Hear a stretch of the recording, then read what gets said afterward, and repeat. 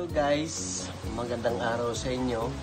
Ngayon, ah, ito yung tinanim ni Edris TV, yung strawberry. Ngayon, ito na yung bunga niya.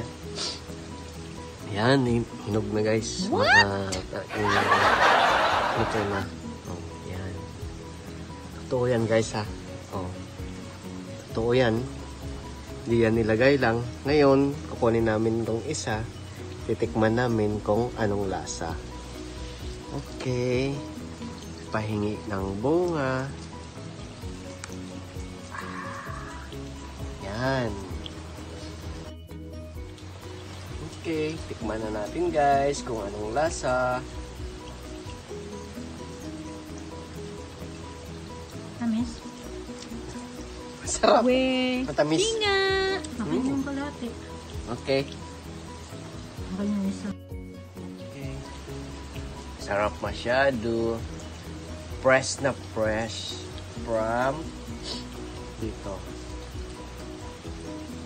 Hindi na siya kailangan ng condensed milk. Hmm, hindi na.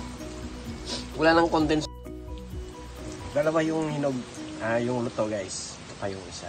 Ito, coming, may mga maliliit. Yan. Dalawang pot kasi ito guys. Ito pa yung isa.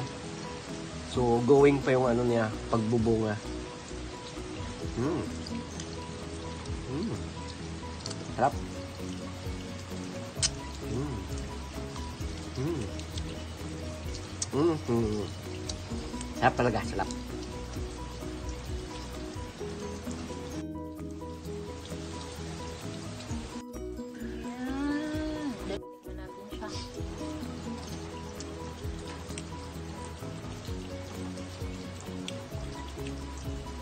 Tamis siya.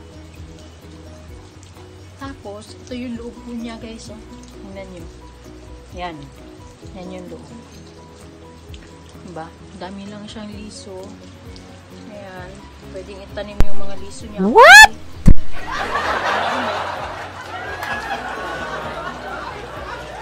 Ano siya ulit. Yan. And don't forget to like, subscribe our YouTube channel and hit the bell button para maging updated kayo lagi sa aming i-upload. Thank you guys! God bless us all!